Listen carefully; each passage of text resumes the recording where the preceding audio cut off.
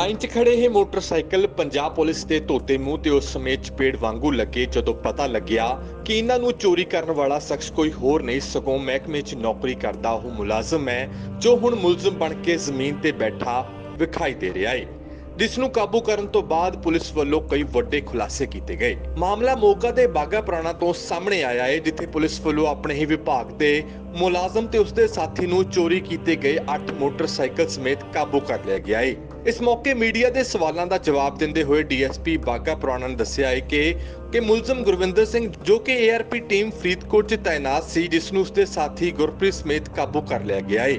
ਜਿਸ ਤੋਂ ਬਾਅਦ ਵਿਭਾਗ ਵੱਲੋਂ ਮੁਲਜ਼ਮ ਨੂੰ ਡਿਸਮਿਸ ਕਰਕੇ ਉਸ ਨੂੰ ਸਖਤ ਸਜ਼ਾ ਦਿਵਾਉਣ ਦਾ ਦਾਅਵਾ ਕੀਤਾ ਗਿਆ ਹੈ।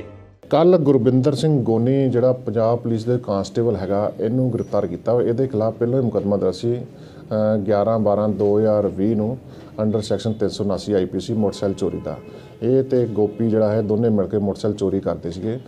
ਤੋ ਗੁਰਪ੍ਰੀਤ ਸਿੰਘ ਗੋਪੀ ਪਹਿਲਾਂ ਫੜਿਆ ਗਿਆ ਸੀਗਾ ਤੇ ਇਸ ਨੂੰ ਕੱਲ ਕਾਬੂ ਕੀਤਾ। ਦੋ ਮੋਟਰਸਾਈਕਲ ਪਹਿਲਾਂ ਬਰਾਮਦ ਹੋ ਚੁੱਕੇ ਸੀ ਚਾਰ ਪੰਜ ਮੋਟਰਸਾਈਕਲ ਹੁਣ ਬਰਾਮਦ ਕੀਤੇ ਆ। ਇਸ ਤੋਂ ਇਲਾਵਾ ਇਹਨੇ ਪੁੱਛਗਿੱਛ ਤੇ ਇਹ ਵੀ ਮੰਨਿਆ ਵੀ ਫਰੀਦਕੋਟ ਵੀ ਚੋਰੀਆਂ ਕਰਦੇ ਸੀ, ਜਿਸ ਸੰਬੰਧੀ ਉੱਥੇ ਸਿਟੀ ਥਾਣੇ 'ਚ ਮੁਕੱਦਮਾ ਦਰਜ ਹੈ ਤੇ ਉਹਦੇ ਵਿੱਚ ਉਹ ਮੋਟਰਸਾਈਕਲ ਬਰਾਮਦ ਹੋ ਚੁੱਕਾ। ਟੋਟਲ ਹੁਣ ਤੱਕ ਕਰੀਬ 8 ਮੋਟਰਸਾਈਕਲ ਜਿਹੜੇ ਚੋਰੀ ਕਰਨੇ ਮੰਨੇ ਹੈ, ਜਿਹੜੇ 8 ਬਰਾਮਦ ਹੋ ਚੁੱਕੇ ਆ। ਇਹਨੂੰ ਗ੍ਰਿਫਤਾਰ ਕਰਕੇ ਅੱਜ ਪੇਸ਼ ਅਦਾਲਤ ਕੀਤਾ ਜਾਵੇਗਾ, ਰਿਮਾਂਡ ਹੋਰ ਲੈ ਕੇ ਹੋਰ ਵੀ ਬਰਾਮਦਗੀਆਂ ਹੋਣ ਦੀ ਉਮੀਦ ਹੈ। ਇਹ ਏਆਰਪੀ ਟੀਮ ਫਰੀਦਕੋਟ ਦੇ ਵਿੱਚ ਸੀਗਾ ਔਨ ਡਿਊਟੀ ਸੀਗਾ, ਲੇਕਿਨ ਜਦ ਮੁਕੱਦਮਾ ਦਰਜ ਹੋਇਆ, ਉਦੋਂ ਇਹ ਗੈਰ ਹਾਜ਼ਰ ਸੀਗਾ। ਉਸ ਤੋਂ ਪਹਿਲਾਂ ਵੀ ਅਕਸਰ ਗੈਰ ਹਾਜ਼ਰ ਰਹਿਣ ਦਾ ਆਦੀ ਹੈ, ਤੋ ਇਹ ਨਸ਼ੇ ਵਗੈਰਾ ਕਰਦਾ ਹੈ, ਤੋ ਡਿਊਟੀ ਦੇ ਸਹੀ ਤਰੀਕੇ ਨਹੀਂ ਕਰਦਾ ਜੀ। 379 ਆਈਪੀਸੀ 379 ਆਈਪੀਸੀ ਇਸ ਤੋਂ ਵੱਧ ਮਾੜੀ ਗੱਲ ਨਹੀਂ ਹੋ ਸਕਦੀ। ਪੁਲਿਸ ਮੁਲਾਜ਼ਮ ਹੋ ਕੇ ਚੋਰੀਆਂ ਕਰਦਾ, ਜਦ ਕਿ ਚੋਰਾਂ ਨੂੰ ਫੜਨਾ ਹੁੰਦਾ। ਤੋ ਇਸ ਨੂੰ ਮਹਿਕਮੇ ਚੋਂ ਡਿਸਮਿਸ ਕੀਤਾ ਜਾ ਰਿਹਾ।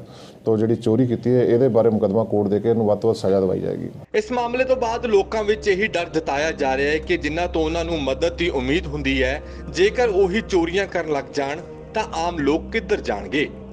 ਹਕੀਕਤ ਟੀਵੀ ਪੰਜਾਬੀ ਲਈ ਮੋਗਾ ਤੋਂ ਮੁਨੀਸ ਚਿੰਦਲ ਦੀ ਰਿਪੋਰਟ।